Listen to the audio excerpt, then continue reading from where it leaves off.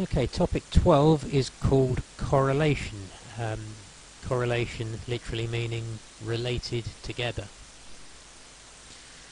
So correlation is all about how two variable quantities are related together. For example, class 8i like watching TV, but they have an important test. Here is some information about 10 people.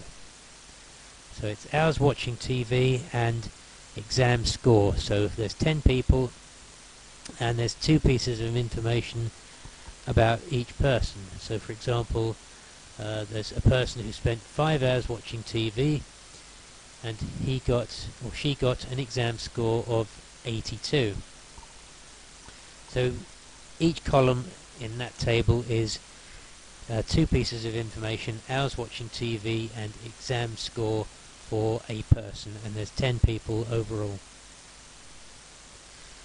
so we can make a scatter diagram of this information So the person that spent one hour got 100 in the test. This person that spent three hours watching TV got 80 in the test. 14 hours watching TV, that person only got 25 in the test.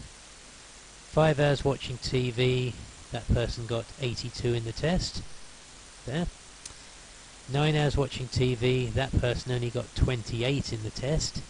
Down there seven hours watching TV and 50% in the test and then another person also spent seven hours watching TV and they got 49 in the test somebody spent no time watching TV and got 80 in the test 2 hours and 90 and 6 hours and 60% and there's a clear pattern there that um, people who are spending more hours watching TV are getting lower exam scores because the graph is going down.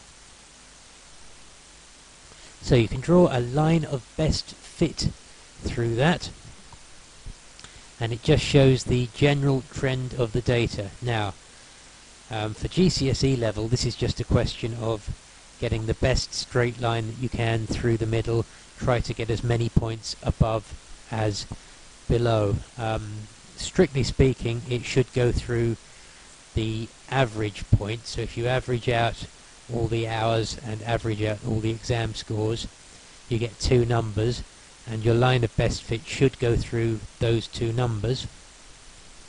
Um, but it's not something they've given a mark for in the past on AQA GCSE.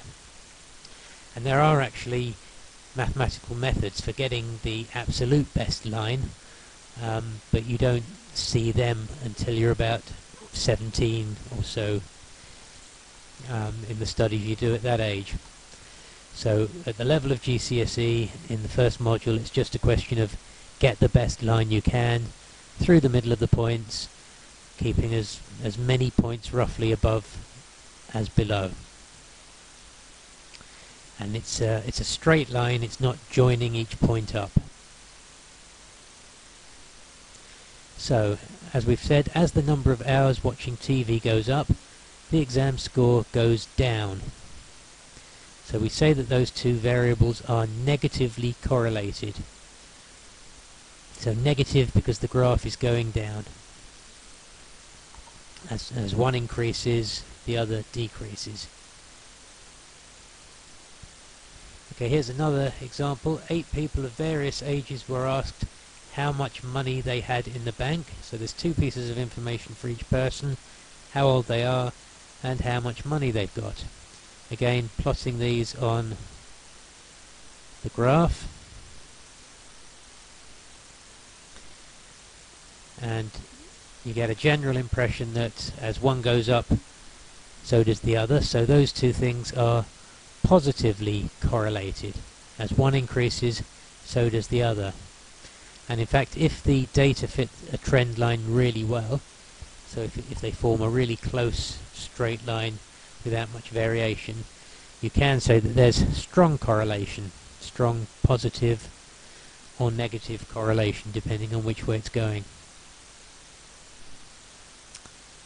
Okay, here's another example. It's the weights of 10 people and their intelligence scores.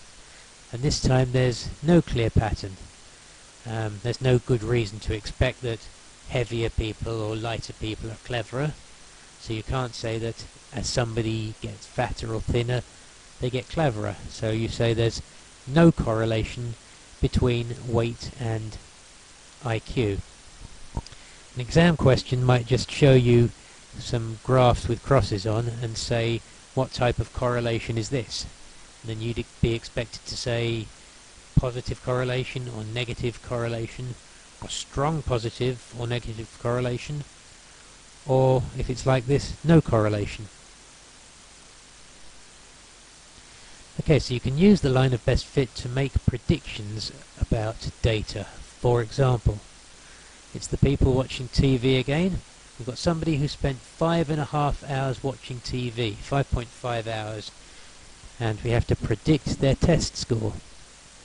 So there's our graph of hours watching TV and exam scores, and the line of best fit that we draw on it. Now, if somebody spent 5.5 hours, five and a half hours. Then we can read up from five and a half hours on the graph.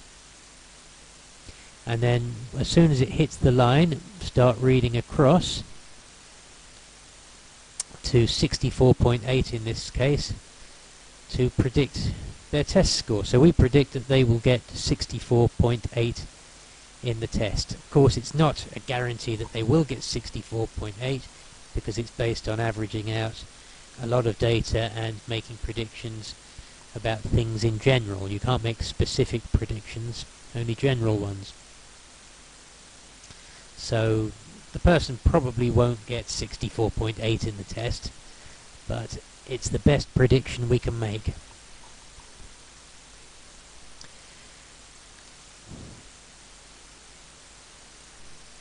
Question 2.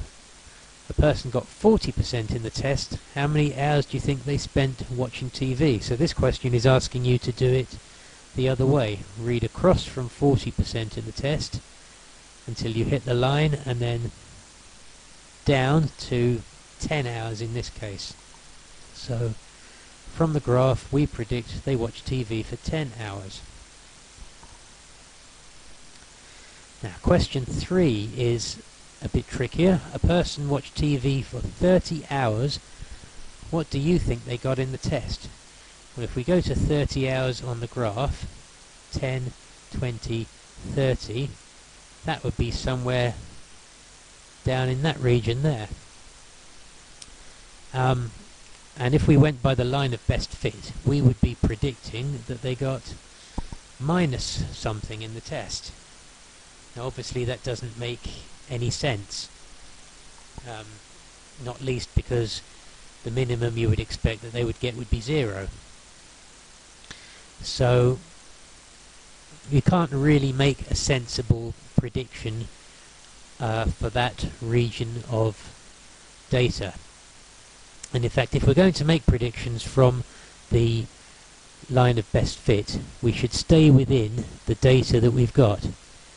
So I wouldn't confidently make a prediction for anything between the lowest and the highest cross on that graph. So we can make predictions within that area that I'm indicating, but anything that's outside, you can't make a sensible prediction. Because you don't know whether it's going to carry on in a straight line or it might go somewhere else completely.